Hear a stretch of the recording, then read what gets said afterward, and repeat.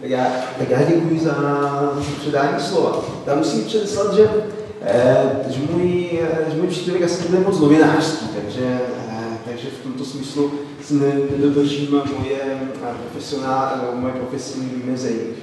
Ještě než začnu, tak, tak je určitě nezbytné udělat pár premis k tomu mému příspěvku, který vlastně nějakým způsobem vyjasní tu dynamiku, kterou bych chtěl tomuto tématu dát. Je to první, první věc je samotný vymezení toho, o čem se bavíme. Když jsme v SOKu vlastně navrhovali tuto záležitost, tuto konferenci, tak byla to dlouhavá diskuze, jak to vlastně pojmenovat.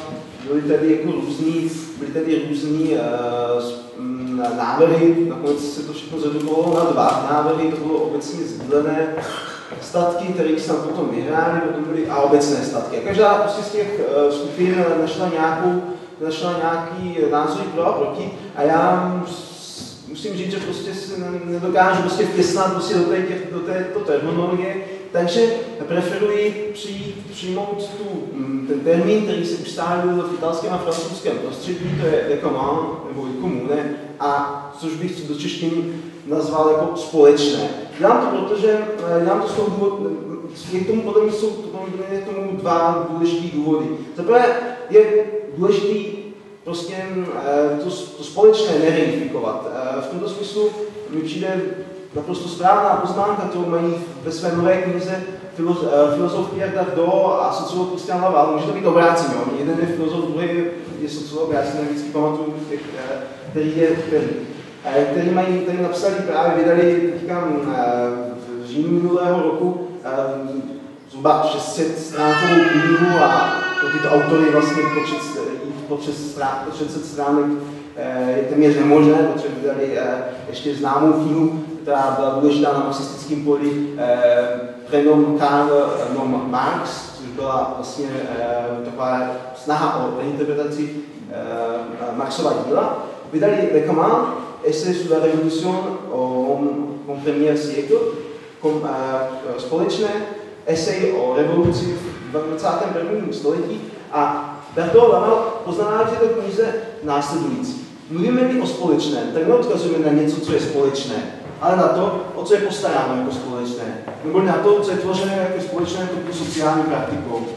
Žádný statek není přirozeně společný, ale jenom kolektivní praktiky v důsledku rozhodují o charakteru společného společného daného statku či určitého souboru statků. Ještě bych dodal, že eh, druhý důvod, proč nepoužívat, nebo proč já nebudu používat obecně sdílené statky a budu používat to, to společné. Eh, přibírám eh, tu argumentaci od Harta s Nedělem, který napsali tady, tady, znovu tady tuhle knížku, eh, kterou mám sice vytačně, ale vyšla, eh, vyšla i v angličtině, nevím, jak byla vydána v roce 2010, takže to není úplně čerstvé dílo. A vlastně um, Harald s navrhují, aby společné bylo, um, bylo definováno jako bio, biopolitickou tvorbou, která se vyznačuje horizontální kooperací, smazávání genderových, etnických i kulturních hierarchií a identit a nahrazování vlastně těchto identit jednotlivostí.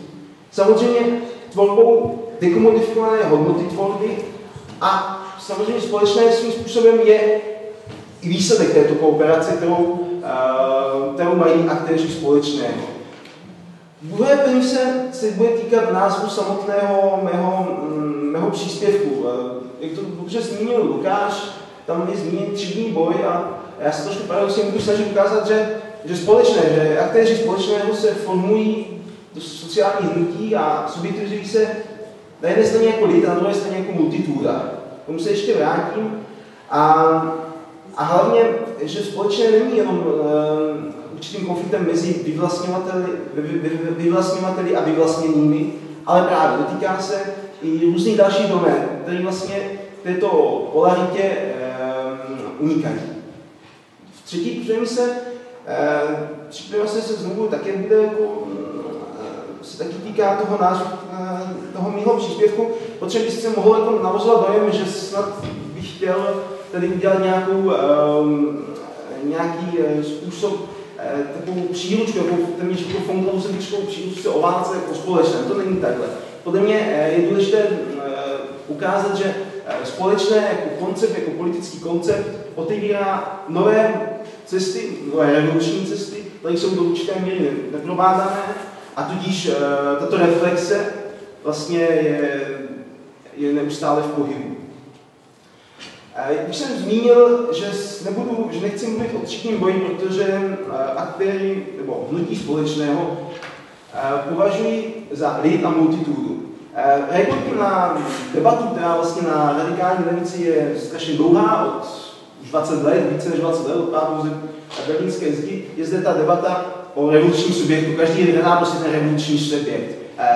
Ani to vám nedokáže ani najít. Je to nová dělická internacionále, jsou to nová sociální hnutí, debatuje se o tom, vydávají se o tom knihy a pravděpodobně my nejsme teďka schopni říct, u koho se najde v konečném důsledku ta kouřící pistole kapitalismu, tak která, ten důkaz, ten, ten, ten aktér, který ho dokáže pohřbít.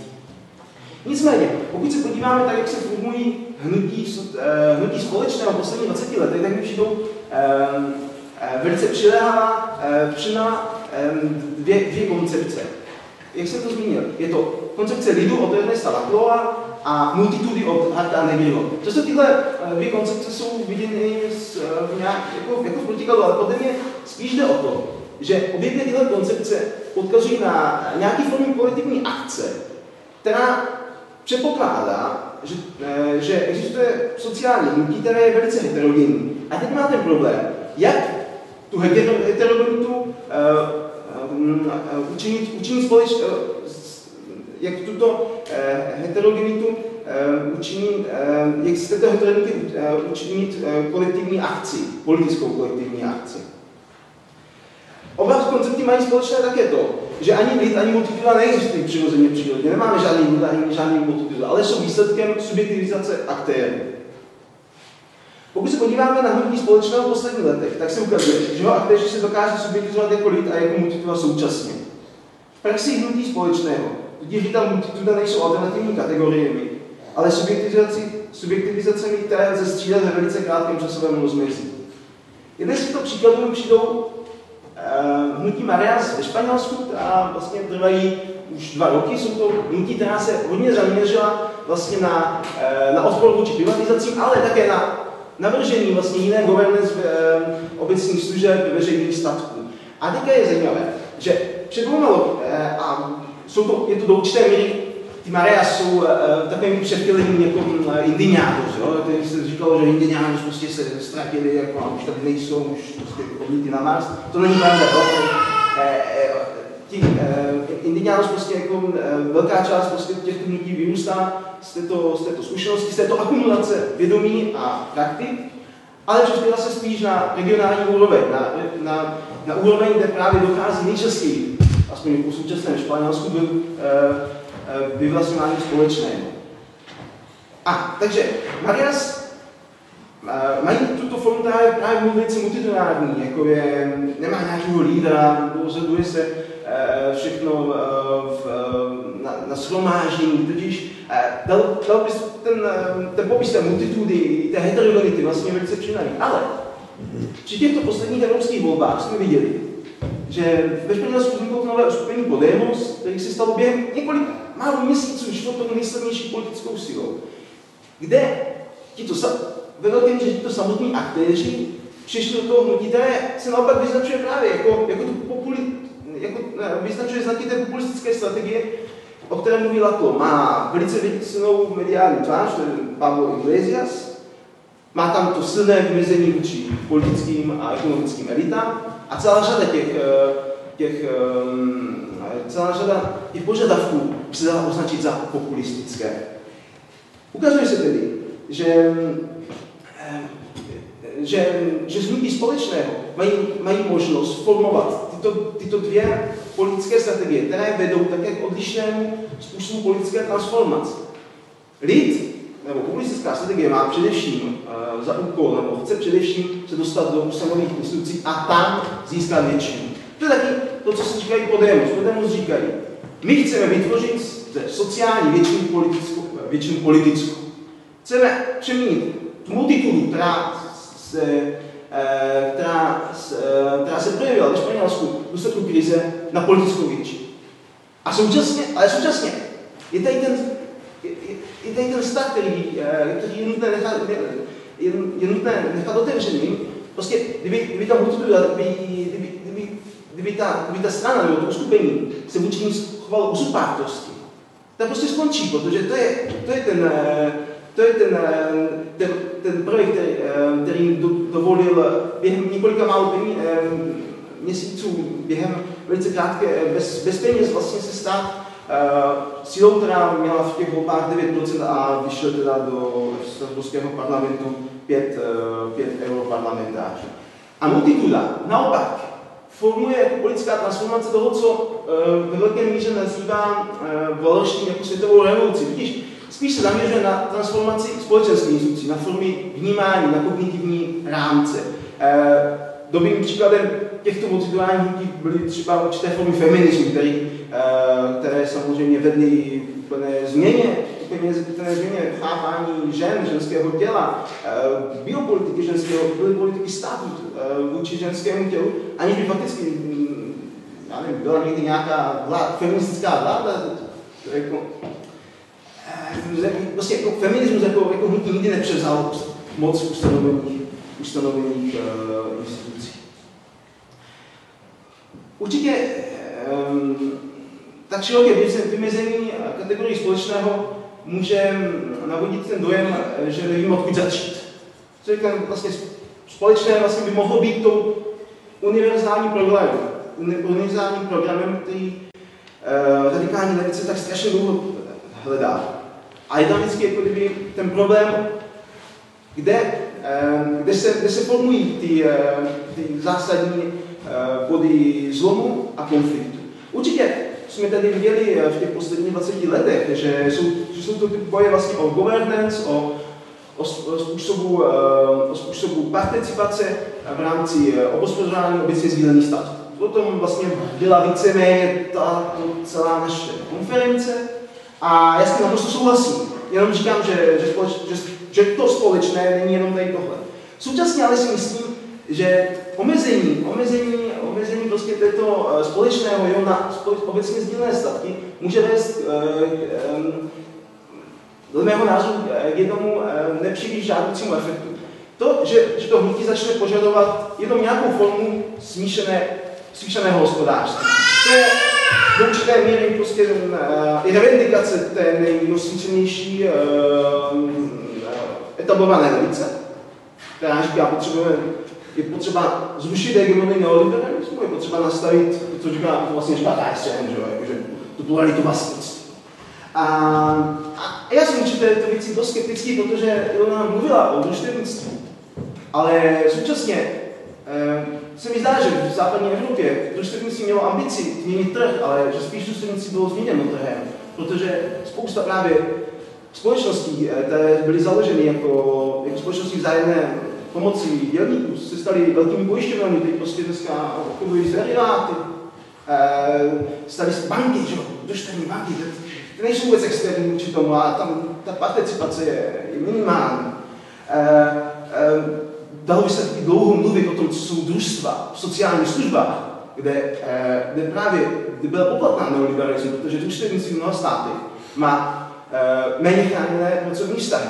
A tudíž je vlastně dalším otevírá další možnost, další možnost pro prekarizaci, pro snižování ohodnocení práce. E, tudíž ta strategie té smíšené ekonomiky, právě protože že tady už byla tady tahle, tady tahle ambice a prostě mm, zdá se mi, že se, že se rozpadla. Že právě, že ti, kteří si chtěli změnit trh, tak byli změněni trhem, tak e, ve mně vyvolává dost velkou skepci. Druhou důležitou doménou společného považuji práci. Uh, určitě, ne, um, určitě, možná je to trošku skandální, že práce je obecným statkem. Skandální v tom, v tom, v tom přirozeném, v tom, v tom původním slova smyslu.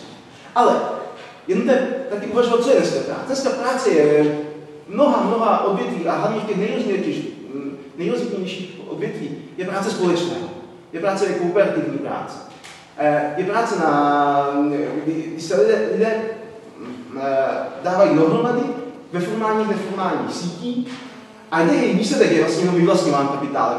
Eh, jsem trošku ještě vzdálen eh, toho uvažování, které mají někteří eh, poznatističtí kritici, kteří říkají, že dneska podnikatel je vlastně jenom vyvlastňovatel. Že mu odebírají vlastně tu, tu kapacitu, kterou mu přisuzoval Schumpeter, toho, toho člověka, který je, který je hnacím motorem inovace a, a, a, a to. A, že, a, a vlastně v těchto, v těchto postpolitistických uvažování se ukazuje, že, že vlastně podnikatelé už ani nemají schopnost organizovat produkční síly, jsou schopni jenom vyvlastňování.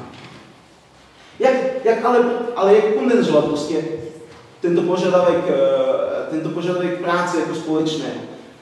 Zdá se mi, že, že jsou tady dva důležité boje, které, které se vedou, které mají středové úspěchy. A to je požadavek na ne, nepodmíněného občanského činu a je to určitě spochybňování, eh, je to spochybňování eh, eh, soukromého intelektuálního vlastnictví. Obecném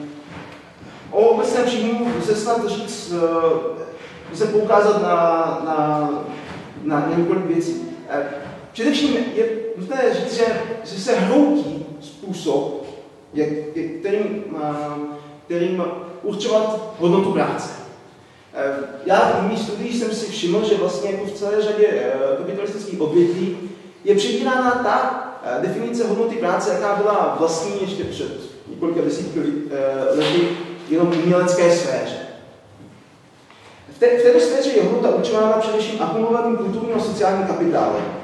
Jeho schopnost interakce s dalšími významnými aktéry na trhu, jeho schopností to strukturovat. Umělec, podobně jako kognitivní pracující, však ve své práci čerpá z předchozí tvorby a z interakcí v sítí s dalšími umělci, či kognitivními zaměstnanci, nebo pracujícími, kteří tak napomáhají akumulaci vlastního i partnerského kulturního kapitálu. E, tento způsob hodnocení práce už se odhodil masku liberálního mýtu komodifikace dovedností toho, toho starého mm, e, mýtu liberalismu, e, když říkal, že je potřeba jenom ustanovit prostě rovné, rovné pozice a potom každý si může vypracovat sám. Ale komodifikuje téměř výlučně sociální kulturní kapitál, což vede k formaci silných příjmových rozdílů mezi nejvyšší špičkou umělců, manažerů, kognitivních pracovníků a obecně vyvlastňovatelů, a obecně vyvlastňovatelů společného a základem této pyramidy. E, to je hodně patrný právě v uměleckém prostředí, kde vlastně máme tu špičku těch umělců, kteří si dokáží, nejen, že se dokáží živit sami, což jako no a, no a ohledech jako výsledek, ale, ale jsou to opravdu boháči a, a a současně, a současně tento způsob hodnocení práce, eh, který se hodně podobá vlastně tomu, jak, jak, jak o, hodnotě práce uvažoval Bourdieu ve své knize um, ekonomické struktury um, ne, ne, společenské struktury ekonomie, eh, který ukazoval, že hodnota práce je, je prostě eh, ve velké míře um, výsledkem interakcí, interakcí aktérů na strukturovaném poli trhu. Tudíž není tam ten mýtus, který, nebo ten prvek, eh, není tam tolik zásadní ten prvek, který hledal Marx, který říkal, ano, hodnota práce je prostě, eh, jak, jak, jak to zní, eh, ten v češtině, Lukáš, který se znají, jo, hodnota práce, jako kdyby mohl že, že to ten společensky nutně, nutný potřeb hodí. Jo, společensky nutná práce. Ale je to způsob ohodnocování, který je závislý na, na známostech těch, kteří tu práci prodávají, na jeho kulturním kapitálu, na, na ano, na tom, se potkáváme často, prostě, jako, že jak, jak ohodnotit, jako, jako může mít hodnotu eh, třeba nějaká konzultační práce a, a tyto přecenění. Jsou jenom, tato hodnota je, je vyjadřovaná čistě, čistě interakčně, čistě vztahově. Druhá věc u základního příjmu základního obecního a nepodmíněného příjmu je ta, že v současné společnosti je spousta, spousta našich neoceněných aktivit se účastní akumulace kapitálu. My vidíme to všude. Každý z nás produkuje spousta dat, které jsou zapojeny do akumulace kapitálu, protože jsou kupovány velkýma společnostmi. Tyto data jsou vyvlastňovány, protože jsou právě jako tvořené jako společné.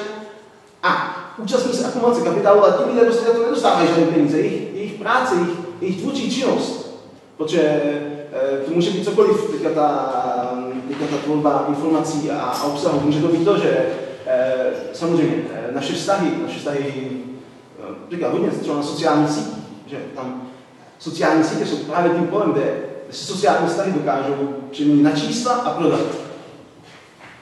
A třetí věc podobného občanského příjmu je to, to co, čem tady mluvila Jirka Kolářová, prostě této práce, která v té rodině, v těch, těch, v těch konviviálních stazích, která není o hodnotě.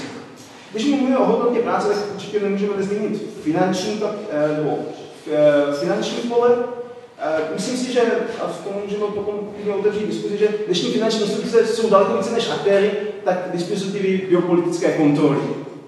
Jejich stále více proliferace jejich, jejich, jejich produktů do, do života lidí se stává takovou silnou určující, silnou určující strukturou směřování a, a disciplinaci lidé, lidí.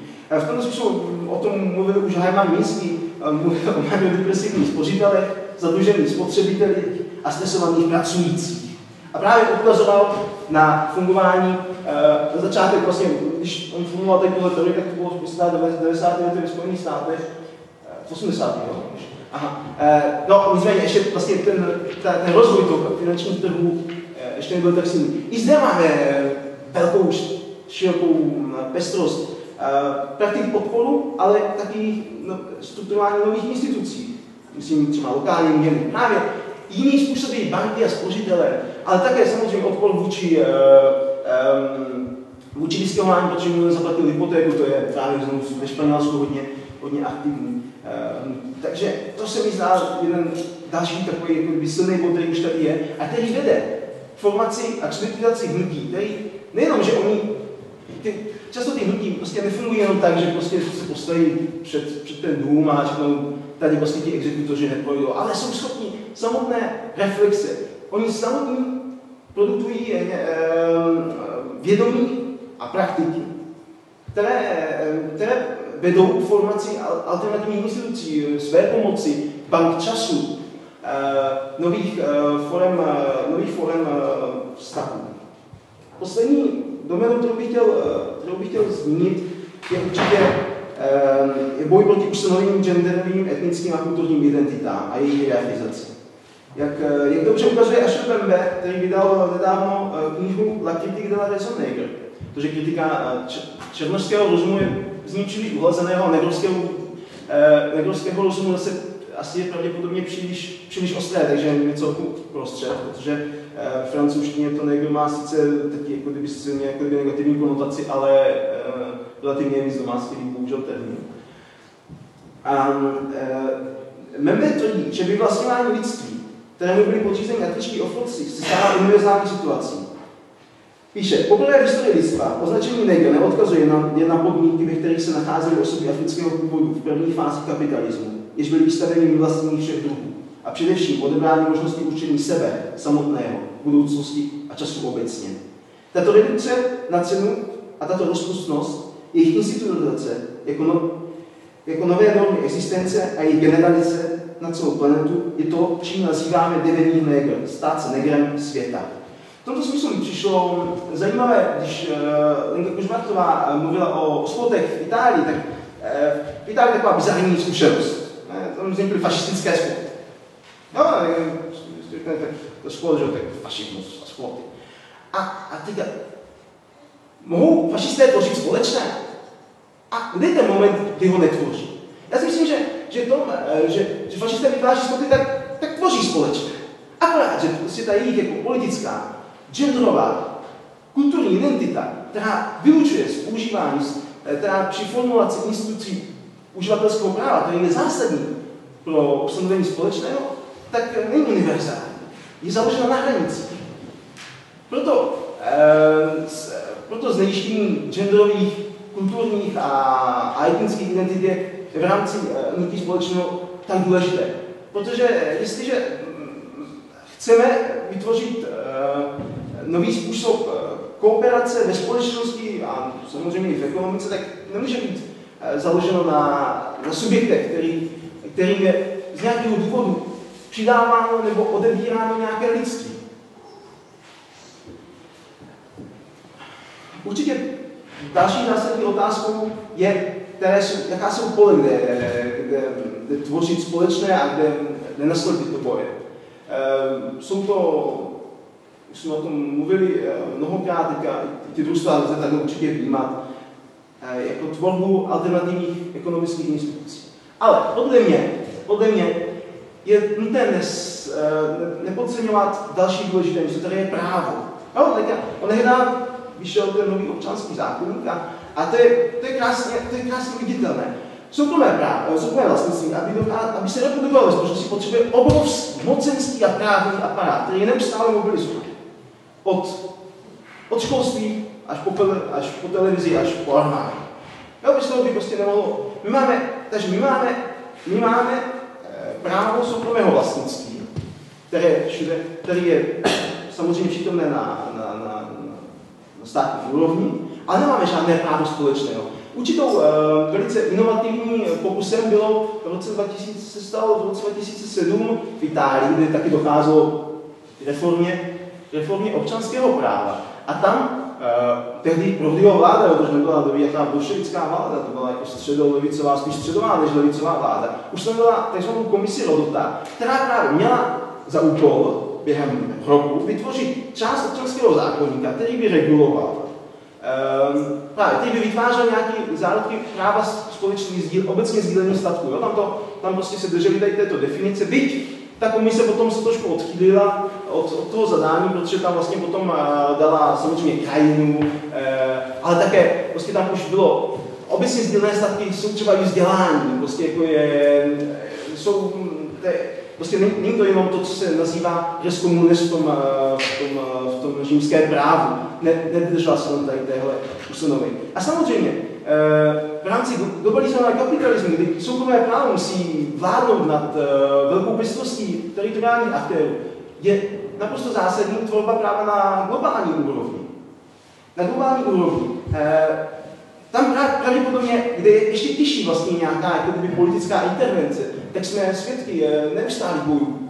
I změna akta, transatlantická uh, smlouva o, o to. Um, jo. A, a, ano, přesně tak. A současně tyhle boje nejsou úplně nový. Když na konci 20. na začátku 21. století vznikla alternovizační, tak ty přesně měla za úkol, nebo si, ne za úkol, ale stanovali si jako cíl nejenom přenést konflikt do těchto uzavřených institucí, jako je WTO, Mezinárodní měnový fond, a, ale také tvořit jiné instituce změny, jiné instituce změny, změny uh, vztahu uh, mezi odlišnýma regionama světa. Třetí polem je určitě jsou ty genderové a ty identity.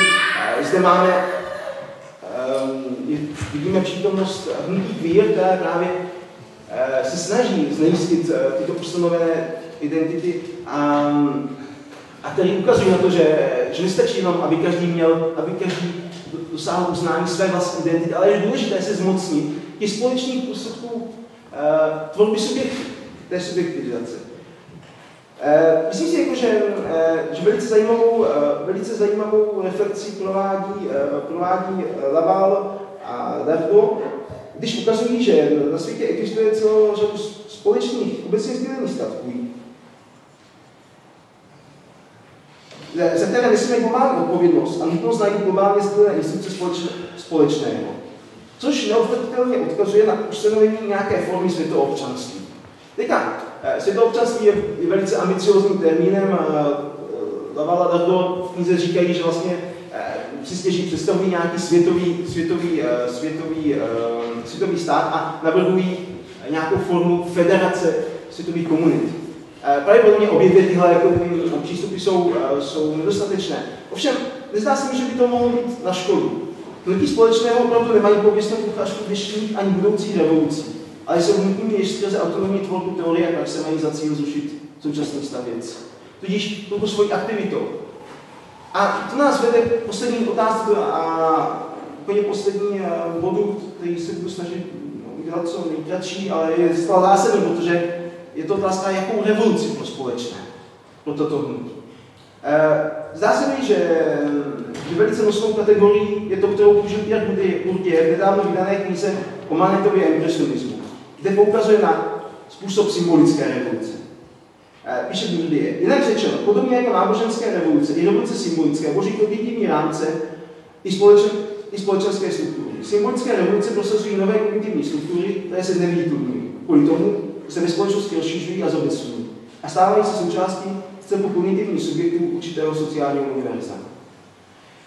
Myslím si, jako, eh, že samozřejmě Bourdieu mluví o impresionismu, ale nepochybně tuto věc se třeba stáhnout na francouzskou. Francouzská revoluce hm, vláda strašně krátce, když se to vezmeme, pět let, nic. Ale naprosto změnila chápání občanů. Ty se, i když přišel termín do restaurace, jsem se konfrontoval, nemohli, nemohli se vrátit podanému. Udělala tou, uh, právě tuto, uh, tu, tu symbolickou revoluci a na což dobře odkazuje uh, v, v jednom velice starém interview Cornelius Castoriadis, který v tomto rozhovoru Myšlenka revoluce roku 1989 říkal, mimořádnost originalita francouzské revoluce se dle mého názoru nachází právě v tom místě, který je tak často vytýká. Neboli, že spochybňuje, a to zcela právě, celé existující uspořádání společnosti. Francouzská revoluce by nemohla být vůči na politickém poli, pokud by neničila na poli společenské. Kasilodis v tomto smyslu poukazuje na, na tu schopnost hnutí se sami sebe tvořit. Eh, říká, hnutí, společenská hnutí, hnutí společného učení by tady tuhle schopnost už prokázal několikrát, mají schopnost tvořit vlastní instituce, vlastní kognitivní rámce, eh, vlastní chápání světa. Eh, proč tohle jsme vlastně zmínili, když jsem mluvil o té multitudě a proč ten lid, proč je často? Protože ta společ, ty tabulky nemohou, nemohou odejít ze společnosti. Nemohou dělat, jak o tom v určitém momentě mluví Hart a Negri Exodus. A vždycky se střetnou prostě s těma institucemi, s těma institucemi ustanovené moci. A, a, a musí čelit její, represi a jejímu násilí. Poslední dodatek je, bych chtěl zmínit, že symbolická revoluce neznamená nenásilnou či abstraktní revoluci.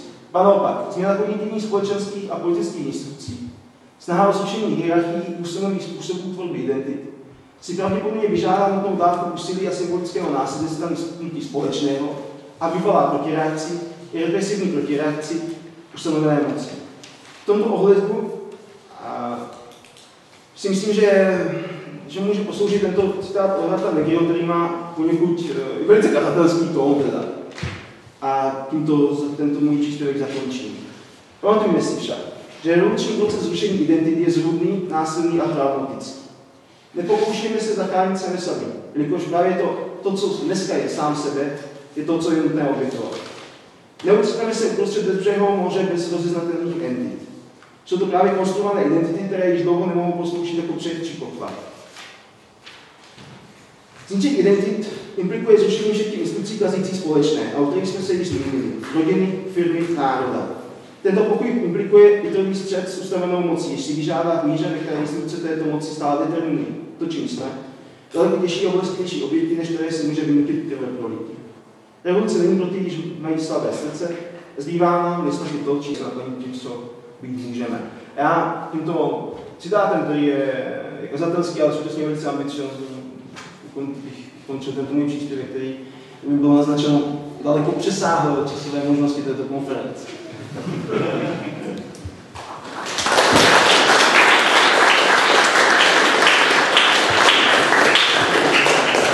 Takže já moc děkuji Jakubovi za poslední příspěvek v rámci tohoto panelu.